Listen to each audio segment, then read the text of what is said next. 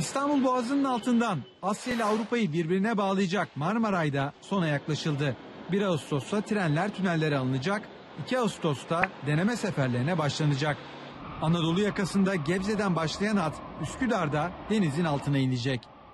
Üsküdar istasyonu büyük oranda ortaya çıktı. İnşaatın %90'ı bitti. 29 Ekim'deki açılış törenine yetiştirilmeye çalışılıyor. Tren yerin 23 metre altında. Bunun içinde iki inşaat bittiğinde işte gişeler de burada olacak. de burada olacak. Burası trene bineceğimiz yer. Marmaray Kadıköy istikametinden gelecek. Burada Üsküdar istasyonunda duracak. Yolcular buradan trene binecekler ve ardından da Boğaz'ın altından Sirkeci istikametine doğru gidecekler. Deneme seferleri 2 Ağustos'ta başlıyor. Burada ilginç olan bir nokta var. O da deneme seferinin ilk yolcuları kum torbaları olacak. Şu anda denizin altındayız, Üsküdar açıklarındayız. Önüm Asya, arkamsa 30 metre altı, zaman zaman derinlik 60 metreye kadar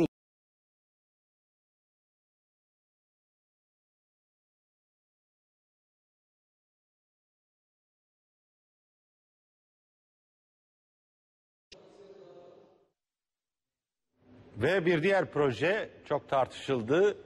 Haliç'te yapılacak olan tesisler, yat limanı, otel, alışveriş merkezi ve cami.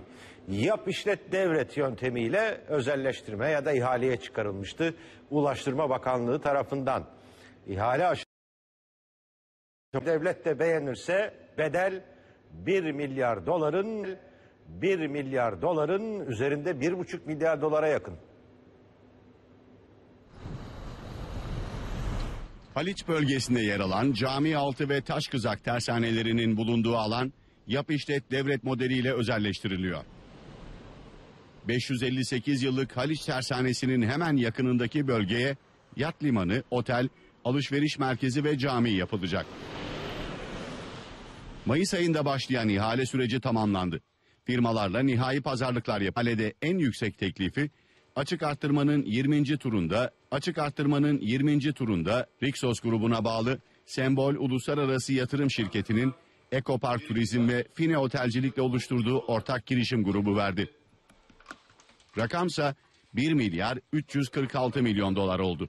Amacımız 1 milyar TL'nin üzerinde bir yatırım yapmak olacaktır.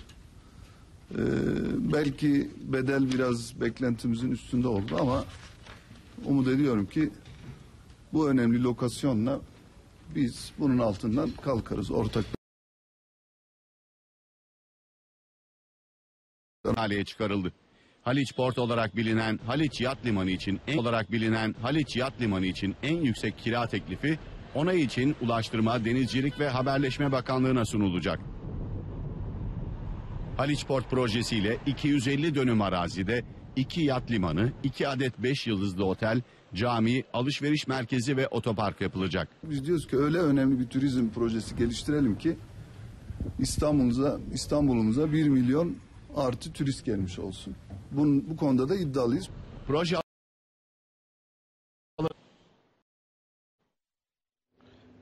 Ve